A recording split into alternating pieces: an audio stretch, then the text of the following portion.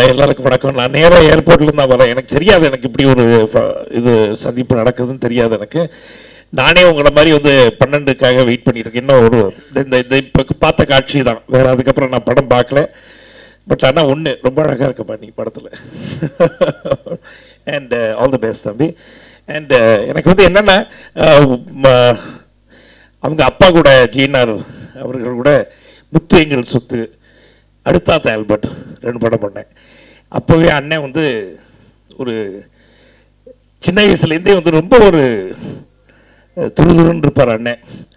அதுக்கப்புறம் அந்த துருதுருப்பு வந்து படத்தில் வந்து என்ன வச்சு இயக்கிய படத்தில் தெரிஞ்சிச்சு அப்படிங்கிறது தான்.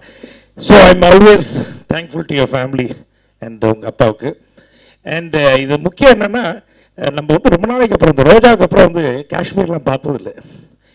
இந்த படத்துக்கு இந்த படம் பார்த்ததுக்கு அப்புறம் இந்தியன் ஆக்கியபைட் காஷ்மீரை நம்மளாம் என்றைக்குமே விட்டு கொடுக்க கூடாதுங்கிறது தான் என்னோட கருத்து. அவ்வளோ அழகான ஒரு இடம். எப்பாவது போகணும்னு அப்பாவுக்கு வந்து ரொம்ப பிடிக்கும் காஷ்மீர். அந்த காஷ்மீர் அழகாக காட்டியிருக்கீங்க. ஒரு நல்ல கதை வந்திருக்க மாதிரி தெரியுது தம்பி. ஆல் தி பெஸ்ட் டுவெல்த் அன்னைக்கு நானும் வெயிட் பண்ணுறேன் விக்ரம் அண்ட் டீம் அண்ட் தம்பி Kumaravel Ranya. You looking beautiful இந்த picture like you looking here also and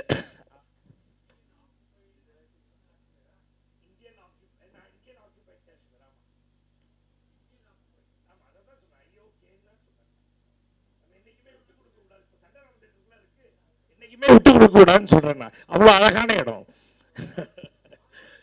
எங்களை நமக்கு வந்து பாகிஸ்தான் பாக்கி பாகிஸ்தான் ஆக்கிபைட் காஷ்மீர் கிடைச்சாலும் ரொம்ப சந்தோஷம். ஏன்னா அப்படி ஒரு அழகான ஒரு ஊர் அப்படிங்கிறது தான். ஆனா என்னன்னா நம்ம பிஎஸ்எஃப் எனக்கு வந்து எனக்கு எங்கள் அண்ணன் கூட ஃப்ரெண்ட்ஸ் இருக்காங்க. கார்கில் வாரில் இருந்து வீர் சக்கரம் வாங்கினவங்க உயிர் கொடுத்தவங்கலாம் இருக்காங்க. அவங்க கிட்டலாம் பல விஷயங்கள்லாம் பேசிக்கிட்டு வந்தீங்கன்னு சொல்லியிருக்காங்க. பிஎஸ்எஃப்ங்கிறது அதான் நீங்கள் பல பேர் கேட்டீங்க தாடி அவங்க வந்து இருபத்தி நாலு மணி நேரமும் வந்து அங்கேயே இருப்பாங்க. அஞ்சு நாள். சும்மா சாப்பாடை மட்டும் கையில் வச்சுக்கிட்டு எதிரி பார்த்துக்கிட்டே இருப்பாங்க.